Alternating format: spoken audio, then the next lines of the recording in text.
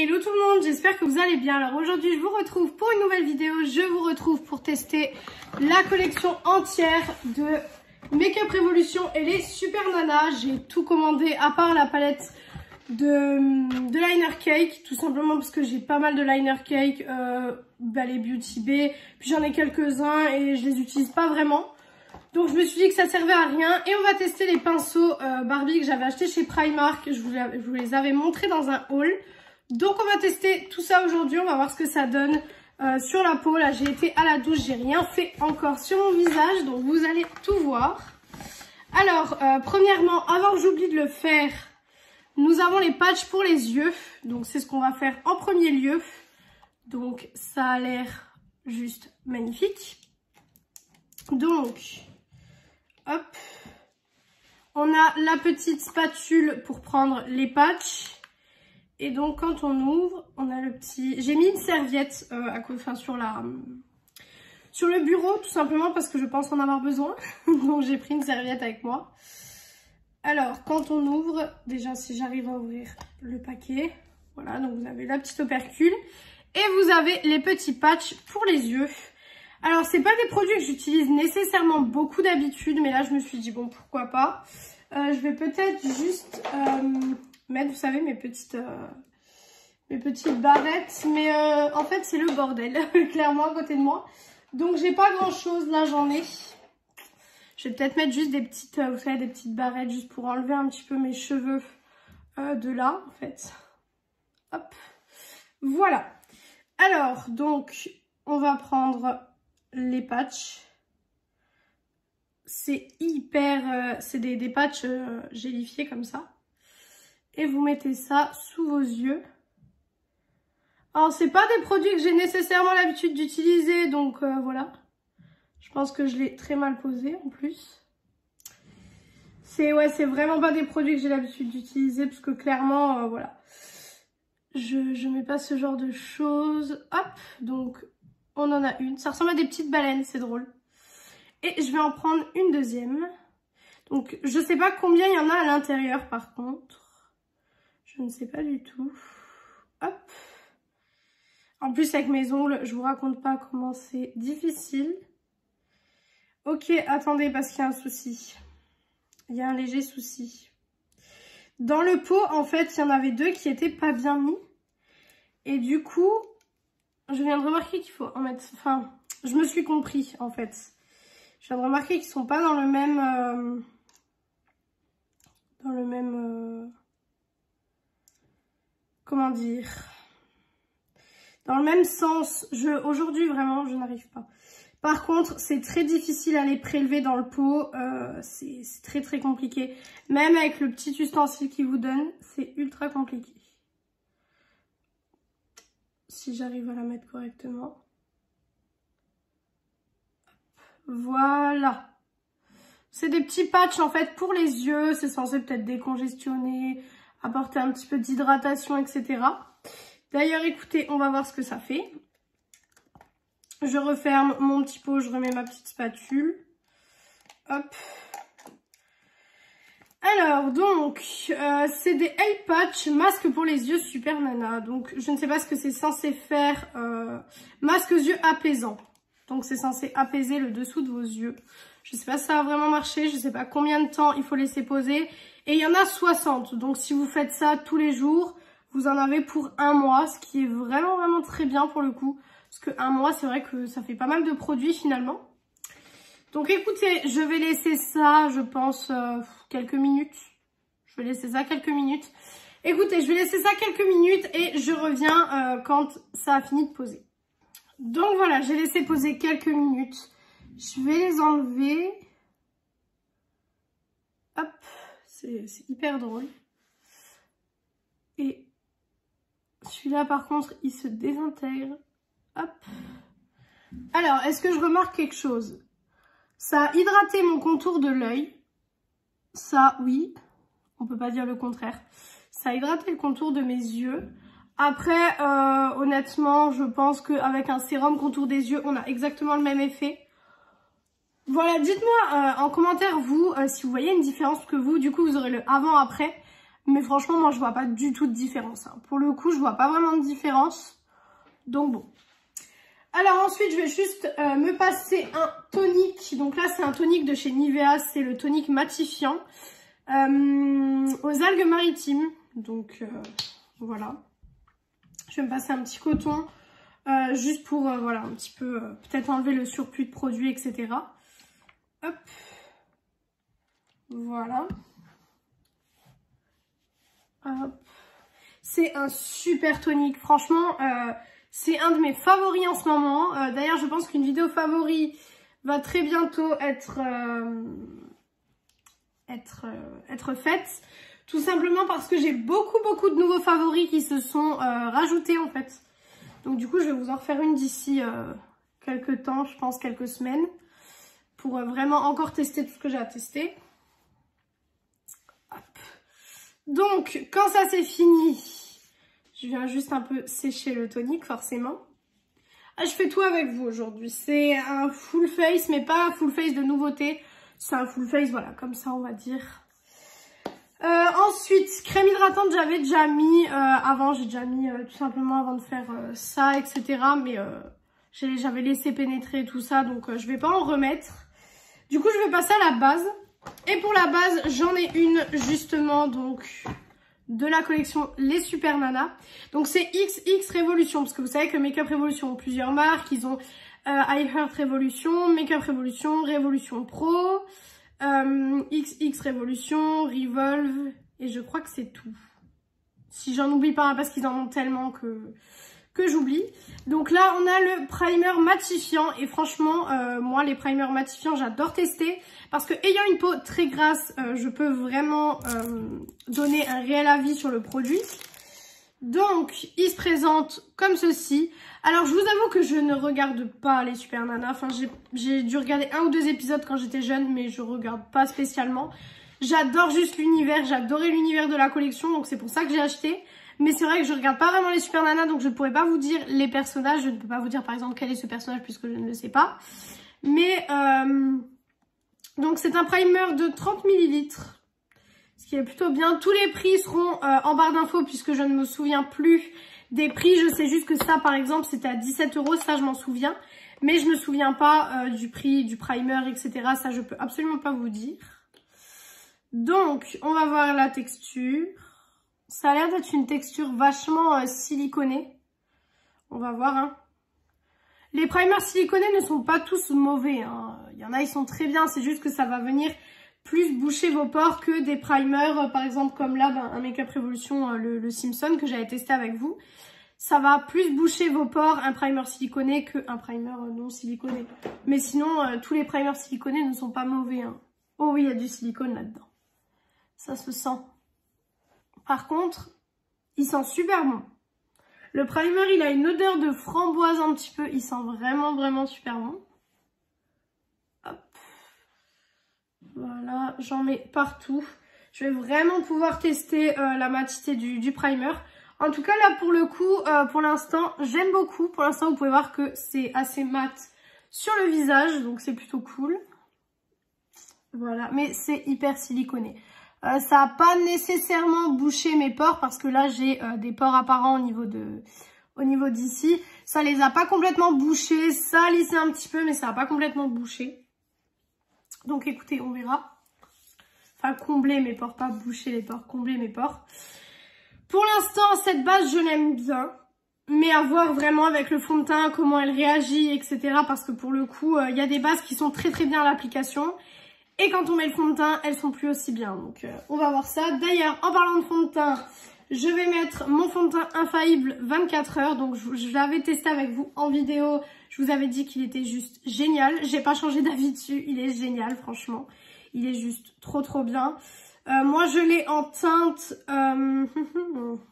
Where is la teinte? En teinte 25 ivoire rosé. Donc c'est la teinte qui est parfaite pour moi. Je pense que je vais euh, en recommander 2-3 pour faire un petit backup parce que c'est vraiment des fonds de teint que je mets tous les jours. Et je pense qu'il a même remplacé mon NYX pour vous dire. Alors que le NYX, je l'aime tellement. J'ai un backup encore parce que celui-là, il est bientôt vide. Mais je pense que le L'Oréal a remplacé mon NYX. Donc, euh, pour remplacer mon NYX, il faut y aller quoi. Mais ce fond de teint est tellement, tellement bien. Franchement, euh, il tient toute la journée. Il est trop bien. Franchement, il est mat surtout. Et euh, moi, vous savez que les fonds de teint glowy, etc., c'est pas du tout mon truc. Parce que ayant une peau grasse, j'aime pas du tout les effets glowy et tout ça. Donc, euh, c'est vrai que même en termes de primer, je préfère largement acheter des choses matifiantes. Après ça, comme d'habitude, c'est en fonction de votre peau, en fonction de vos goûts, etc. Mais moi, c'est vrai que c'est les fonds de teint mat et les bases mat, quoi. Je peux pas... Je peux pas mettre autre chose parce que sinon, j'ai l'impression d'avoir le visage qui brille vraiment beaucoup et j'aime pas du tout. Voilà, donc j'en mets partout. Forcément, c'est le but du fond de teint. Hop. Voilà. Vous pouvez voir qu'il a une très belle couvrance. Il cache pas tout. Mais il a une très belle couvrance. Franchement, euh, il a une super, super belle couvrance. Là, il fait un peu plus beau en ce moment. Donc, c'est vrai que les fonds de teint hyper, hyper couvrants. Le NYX est plus couvrant, mais euh, je le mets moins tout simplement parce que celui-là, je trouve que la couvrance en ce moment me va mieux. Parce que comme il fait un peu plus beau, un peu plus chaud et tout, je préfère avoir une couvrance euh, un peu moins forte. Bon, après, j'aime toujours les couvrances fortes. Hein. Mais je veux dire, je préfère avoir une couvrance un peu moins forte. Parce que le NYX, c'est vrai que je dirais que c'est plus un fond de teint d'hiver. C'est plus un fond de teint que je vais aimer mettre en hiver. Parce que c'est un fond de teint euh, qui est vraiment très très couvrant. Donc euh, c'est vrai qu'en été, quand il fait plus chaud, etc., ben, on a envie de trucs un peu moins couvrants sur le visage. Et donc celui-là est parfait. Voilà pour le fond de teint. Donc vous voyez que j'ai déjà plus la même tête. Ensuite, en anti-cerne, je vais utiliser le Super Stay 30 heures. En ce moment, c'est soit le Shape Tape de Tarte, soit le Super Stay. Ça dépend vraiment de ce que je veux utiliser, etc. Franchement, ça dépend. Hop, donc je vais mettre mon anti-cerne. Hop, je le mets vraiment comme ça. J'ai pas vraiment de... J'ai pas vraiment de technique pour l'anti-cerne, on va dire. Je le mets euh, là où j'ai des imperfections. Hop, et en ce moment, ma peau, euh, c'est la catastrophe. Franchement, je sais pas ce qui se passe avec ma peau en ce moment, mais j'ai des boutons partout. Je pense que vous avez pu le voir de toute façon dans les, dans les dernières vidéos. Mais euh, j'ai des boutons vraiment qui apparaissent. C'est un truc de fou. Pourtant, euh, je veux dire, euh, je fais pas, je fais pas de, de, conneries avec ma peau, quoi. Enfin, je me démaquille, etc. Je fais des soins, je prends soin de ma peau, etc. Mais je sais pas. Je sais pas du tout ce qui se passe. Donc, c'est un peu, dérangeant, quoi. Hop, donc j'en mets sur les paupières en tant que base à paupières. Vous savez que ça, je le fais tout le temps. Hop, voilà. Voilà pour euh, fond de teint et correcteur. Et donc, de la collection Super Nana, nous avons des petits blushs euh, liquides. Alors, vous savez que ça, c'est pas du tout euh, mes produits préférés. Mais j'avais grave envie de tester, franchement. Et puis, les packaging m'ont donné trop, trop envie. Donc, euh, vous avez celui de Bubble, Bubbles. Voilà, donc qui est comme ceci. Donc, c'est des embouts mousse en fait. Je sais pas du tout lequel je vais utiliser. Le Bubule, il est un peu, il a l'air bien, mais euh, je sais pas, je pense que je vais utiliser celui-là. Vous avez celui, donc là, qui est le Blossom. Hop, qui est dans un packaging rose comme ceci. Toujours le même système d'embout mousse. C'est des embouts que j'aime pas forcément parce que je trouve pas ça hyper hygiénique. Donc euh, j'aime pas tellement. Désolée si le cadrage a un peu changé. Ça a coupé en plein milieu que j'étais en train de vous parler. Donc je sais pas ce qui s'est passé mais ça a coupé. Donc je suis désolée. Donc je disais que j'aimais pas trop les embouts mousse parce que je trouvais pas trop, euh, je trouvais que c'était pas du tout hygiénique en fait. Parce que si vous avez des bactéries, vous les remettez sur l'embout et tout. Je vous avais déjà parlé d'ailleurs de cet embout avec le concealer de chez Maybelline. C'est le, euh, le H quelque chose. Je sais plus, mais je pense que vous voyez lequel je parle. Et je vous avais déjà parlé de ça, que je trouvais que c'était pas du tout hygiénique, donc euh, voilà. Et là, vous avez celui de Buttercup, donc il se présente comme ceci. Je pense que je vais utiliser le Bubule parce que c'est celui qui m'intéresse le plus. Mais je trouve ça hyper mignon. Donc on va utiliser celui-là. Alors je ne suis absolument pas familière de ce genre de produit, je tiens à le préciser. Alors je vais déjà en mettre je pense sur le dos de ma main, ce sera peut-être bien. Voilà la teinte de celui-là. Alors euh, on va voir ce que ça donne. Je vais peut-être essayer de le mettre au doigt. Oula, oui d'accord, j'en ai mis un peu trop. Mais après avec la poudre, ça va, ça va le faire. Hop, voilà. Là, on dirait que j'en ai mis beaucoup. Hein. Je suis d'accord avec vous pour le coup. Mais avec la poudre et tout, ça va s'estomper. Donc, euh, ça va. Après, je suis pas du tout familière de ce genre de produit. Et j'ai l'impression que ça me fait une tache ici. Je suis pas du tout familière de ce genre de produit. J'aime pas trop. Mais bon. Pour la vidéo, je teste tout. Hop. Le truc, c'est que je sais jamais où m'arrêter, où aller. Donc, euh, c'est un peu compliqué. La texture est vraiment super, super bonne, je trouve. Je vais en mettre sur le nez aussi.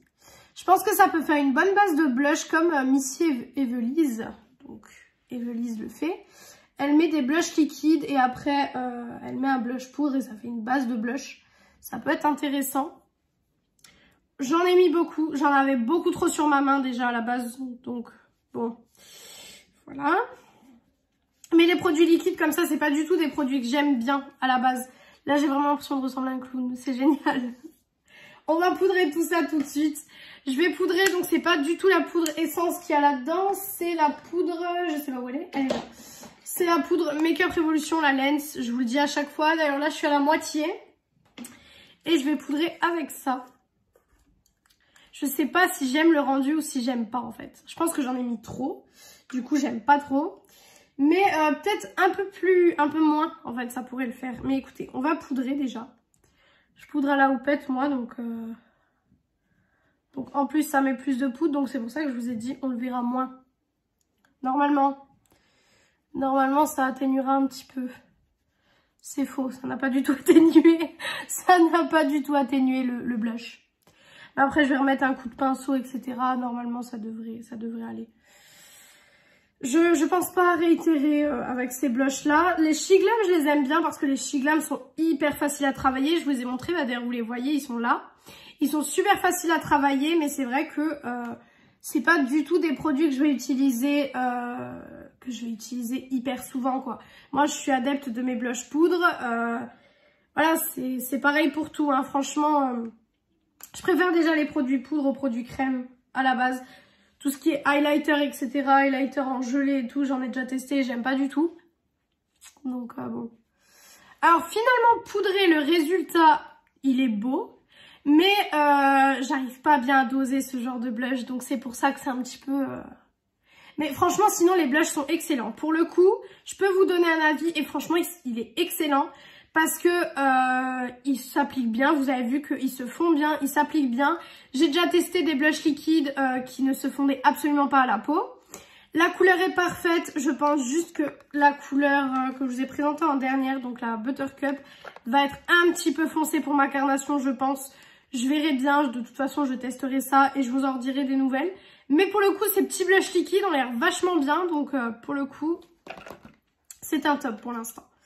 On va voir si ça continue euh, à être des tops tous les produits. Mais pour l'instant, j'aime beaucoup. Pour l'instant, il n'y a pas quelque chose qui m'a réellement déçu.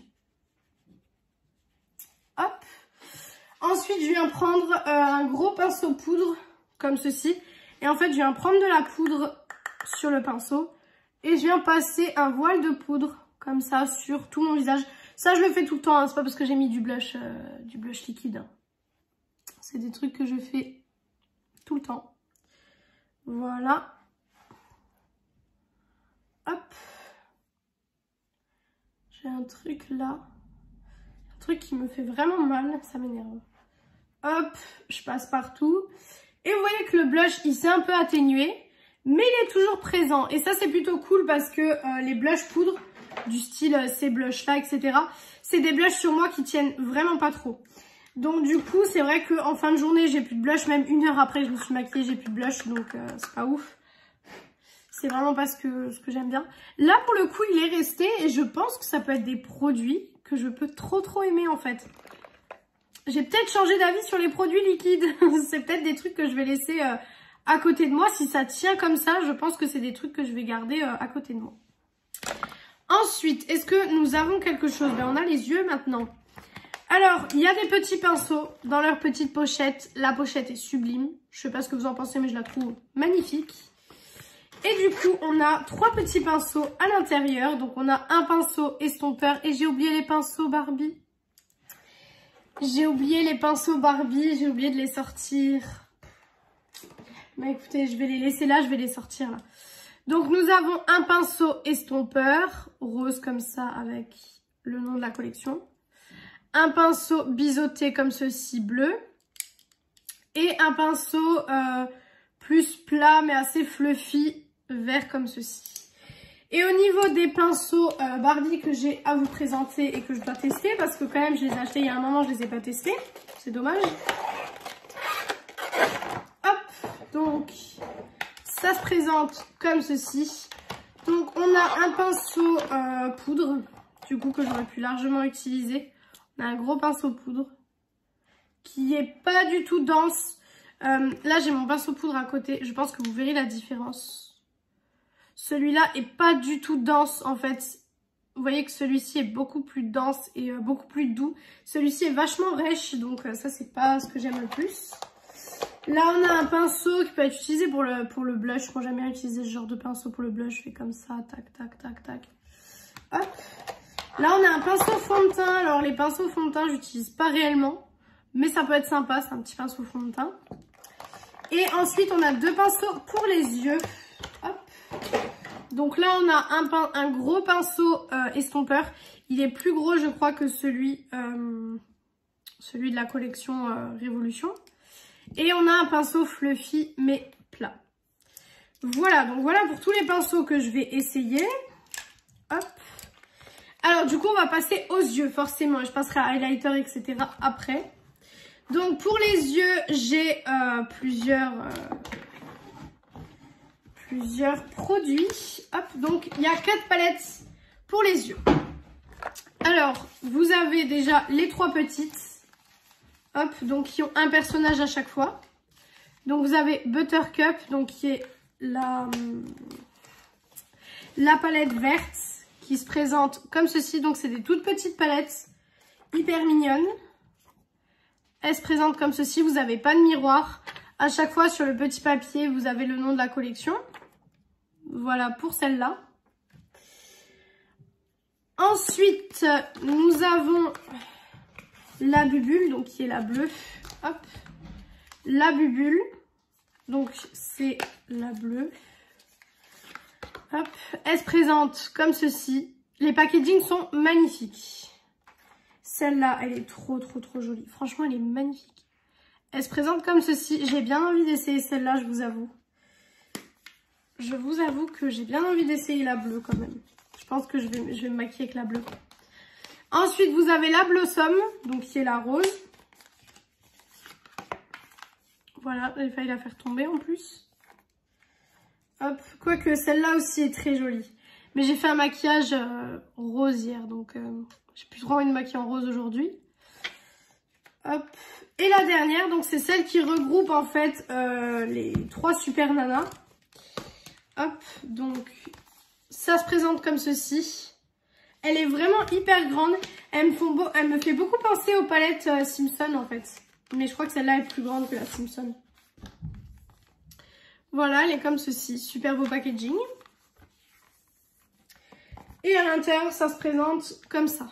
Voilà, donc je vous montre déjà de loin. Et je vous montre de près pour les teintes. Donc vous avez un côté bleu, un côté rose et un côté vert.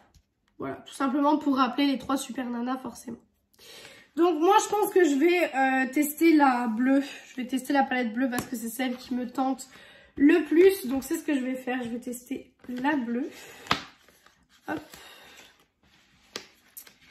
Alors, on va utiliser du coup la bubule. Donc à l'intérieur, vous avez, bah, vous avez six fards déjà. Et vous avez 6 fards de 1,1 euh, g, donc ce qui est plutôt bien. Et c'est vegan et non testé sur les animaux, il me semble. Donc c'est plutôt pas mal. Voilà. Alors, euh, j'ai déjà matifié ma paupière, vous l'avez vu euh, quand j'ai mis ma poudre. Donc, je vais directement commencer, je pense, faire... alors, j'hésite. J'hésite entre les deux mats pour mon creux de paupière déjà mais je pense que je vais utiliser celui-ci. Alors, je vais utiliser celui-ci pour mon creux de paupière, celui-ci pour intensifier le make-up. Là, on utilisera le lumineux ici pour mettre sur la paupière mobile. Et en coin interne, on viendra mettre celui Voilà, donc on va venir travailler tout ça. Alors, j'ai peut-être pris un pinceau un peu grand pour mon creux de paupière. Alors le bleu est pas super intense pour l'instant. Mais quand on revient dessus, vous pouvez voir qu'il s'intensifie. Donc ça, c'est plutôt cool. Hop. Il s'intensifie, donc c'est une bonne nouvelle. Voilà. Je vais faire pareil de l'autre côté. Le pinceau est super doux. Euh, franchement, la prise en main est super, super bien. C'est des super bons pinceaux pour l'instant de ce que, de ce que j'ai testé en tout cas. Hop. Par contre, il faut y retourner quelques fois dans le bleu pour euh, arriver à avoir un résultat assez concluant. Je vous rappelle que j'utilise ce bleu-là. On est, ouais, on n'est pas quasiment... C'est pas la même chose, j'ai l'impression. J'ai l'impression que c'est pas exactement la même couleur, mais bon. C'est pas très grave. Voilà, hop.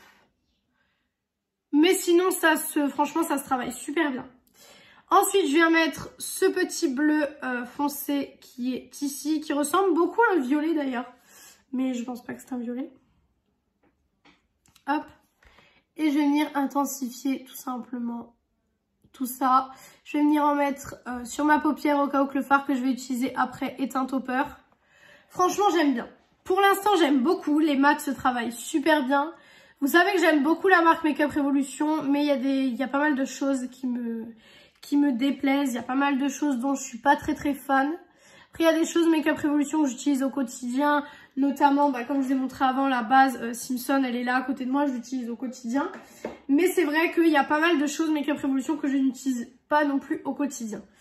Donc, euh, c'est vrai que voilà. Et là, je, juge des palettes aussi beaucoup moins chères. Comme je le dis à chaque fois quand je teste des choses moins chères, je teste une palette qui est beaucoup moins chère que les palettes Pat McGrath ou Natasha Denona ou même euh, Too Faced ou Huda Beauty. Donc, il faut que le jugement aille avec en fait. Pour le coup, j'aime beaucoup. Les chutes, on en a, mais vraiment pas beaucoup. Je trouve pas que c'est extrême. Donc ça va. Maintenant, on va passer au lumineux, le truc qui me fait un peu plus peur. Donc c'est celui-ci. On va voir comment il est sur la paupière. Sur le doigt, il a l'air joli. Mais écoutez, on va voir ce qu'il donne sur la paupière. Parce que des fois, sur le doigt, c'est très joli et finalement, sur la paupière, c'est plus autant joli. Eh ben, c'est joli. C'est joli, mais j'ai l'impression qu'il ressemble beaucoup au lumineux de la palette Bratz. Euh, je sais plus c'est laquelle. Je vous avais fait un make-up sur ma chaîne avec cette palette-ci de toute façon. Et je trouve que ce lumineux-là lui ressemble beaucoup. J'avais fait un make-up bleu aussi. Et j'ai l'impression de retrouver en fait les mêmes paillettes. C'est un peu bizarre. Mais j'ai un peu l'impression de retrouver la même chose. Après, c'est une très bonne formule. Les formules là, je préfère largement ces formules-ci que des formules qui nous mettent des fois dans certaines palettes parce que Makeup Revolution n'ont pas toujours les mêmes formules. Voilà. D'ailleurs, est-ce qu'on peut parler 30 secondes de Makeup Revolution avec leur sortie? Je trouve qu'ils font énormément de sorties. C'est un truc de fou. Franchement, ils font beaucoup, beaucoup de sorties. Et euh, ouais, on n'arrive pas trop à suivre. Hein. Franchement, euh, ils ont sorti cette collection-là. Et euh, même pas une semaine après, ils avaient sorti la collection... la collection des Simpsons de cet été. Bon, bien sûr, j'ai craqué, je l'ai commandé. Mais c'est vrai que j'ai trouvé que c'était hyper rapide quand même. Ensuite, avec le petit pinceau biseauté, donc je vais utiliser celui-ci pour faire mon rat de cils. Donc je vais venir mettre le bleu plus clair parce que j'ai pas envie que mon make-up soit trop, soit trop foncé. Hop. Alors le pinceau est pas fait pour ça à la base. Hein. Mais euh, c'est vrai que ce genre de pinceau, j'aime bien les utiliser pour ça. Mais bon, c'est pas du tout fait pour ça à la base. Hop. Bah écoutez, ça marque bien. Le pinceau fonctionne. Pour l'instant, j'ai rien de négatif à dire. Et c'est très, euh, c'est très rare que j'ai rien de négatif à dire sur quelque chose. Après, comme j'ai dit avant, je juge une palette qui est moins chère que les autres. Donc, forcément, je vais être un peu plus laxiste, on va dire. Hop. Franchement, ça se travaille super bien. Euh, je vais juste un petit peu venir passer un coup d'estompeur pour estomper tout ça. Voilà. Mais je trouve que c'est hyper hyper joli. Alors maintenant avec un pinceau plus fin, donc là c'est un pinceau Beauty Bay comme ceci. Je vais venir mettre la couleur qui est ici, donc euh, c'est une couleur assez blanche et tout ça c'est pour apporter un petit peu de luminosité au niveau du coin interne.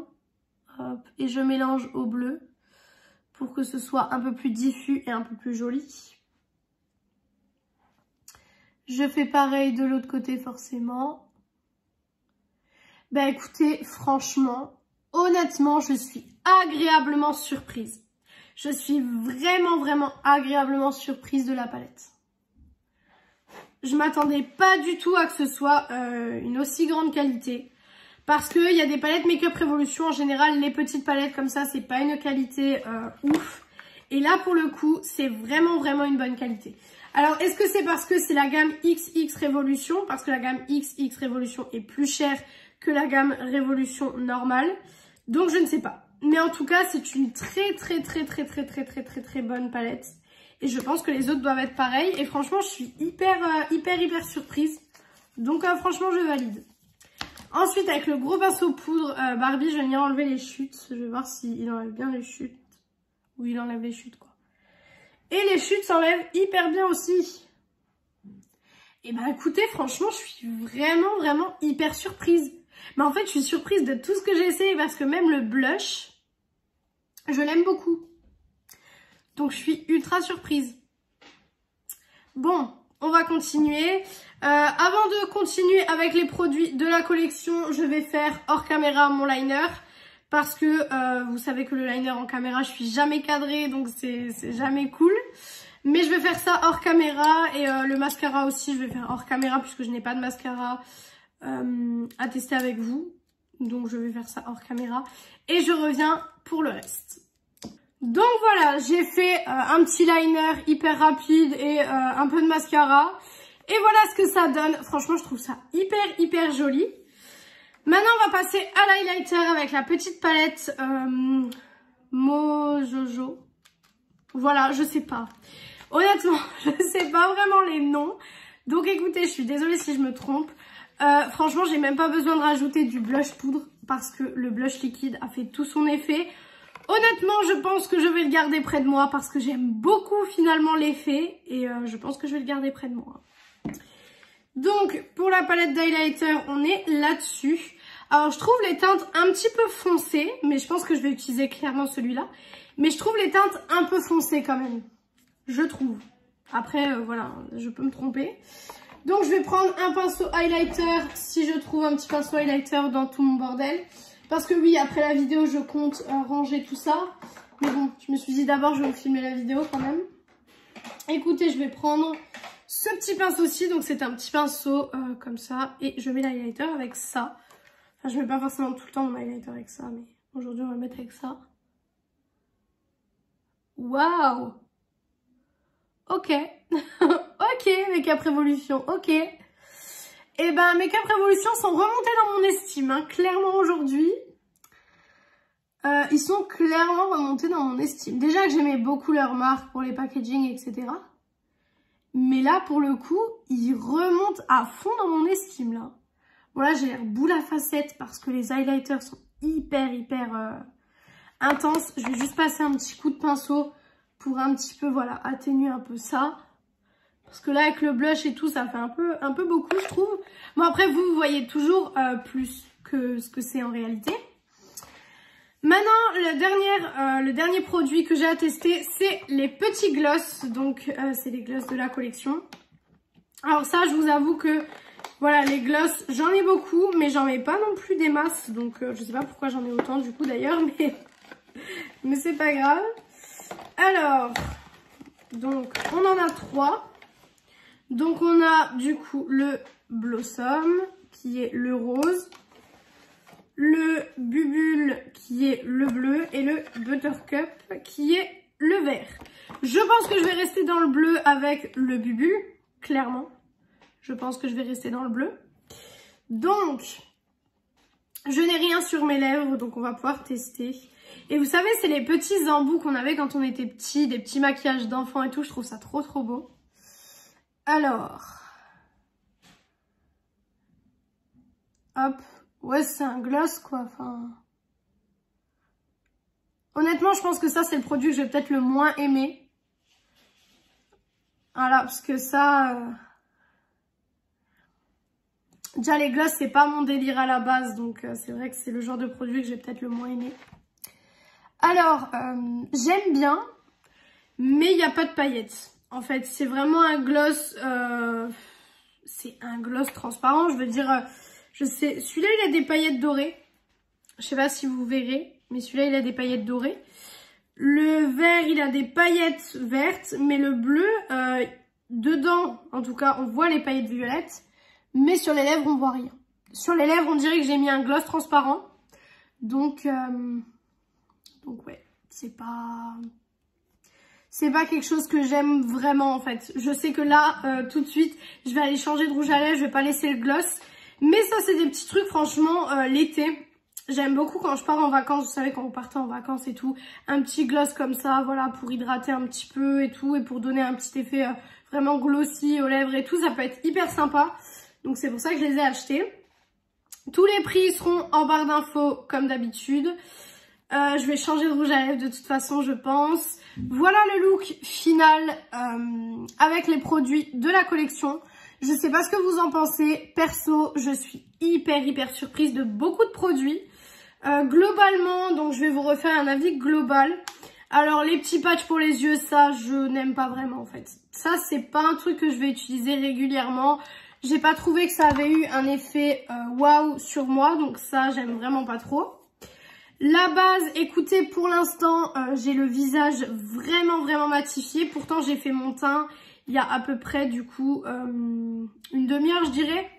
Donc, du coup, oui, j'ai j'ai vraiment, euh, j'ai vraiment le teint matifié. La base n'a pas fait bouger le fond de teint, euh, ça n'a pas fait de taches, ça n'a pas fait d'effet matière ni quoi que ce soit. Donc ça, je recommande. Ensuite, nous avons euh, les petits blushs liquides. Et ça, je vous ai dit, je recommande vraiment. Pour le coup, moi qui recommande un produit liquide, c'est vraiment pas du tout mon fort. Mais là, pour le coup, je suis hyper satisfaite parce que les blush poudre sur moi ne tiennent absolument pas. Et pour le coup, je pense que j'ai trouvé le moyen d'avoir vraiment un blush qui tient sur moi. Donc, je pense que le bubule, en tout cas, je vais le laisser à côté de moi euh, pour me maquiller le matin. Mais franchement, ça, je recommande. Ensuite, euh, bah dans, dans l'ordre, je vais pas forcément faire dans l'ordre, mais là, donc, à côté de moi, j'ai la palette d'highlighter. Je pense que les images pourront parler d'elles-mêmes. Je suis hyper choquée des highlighters. Après, les highlighters euh, essence, j'allais dire n'importe quoi. Les highlighters Makeup Revolution sont des très très bons highlighters déjà à la base. Donc euh, franchement, c'était sûr. Les palettes, ben figurez-vous que je suis très très très très très très très choquée pour le coup.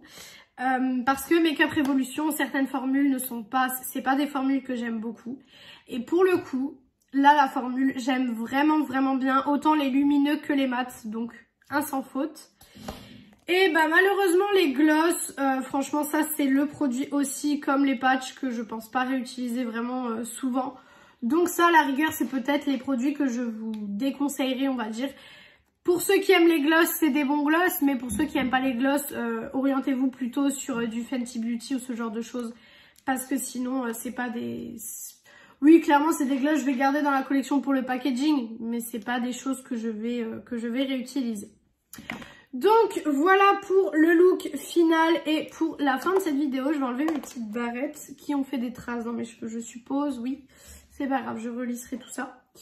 Donc voilà pour cette vidéo. J'espère que cette vidéo vous a plu. Si elle vous a plu, n'hésitez pas à mettre un petit like.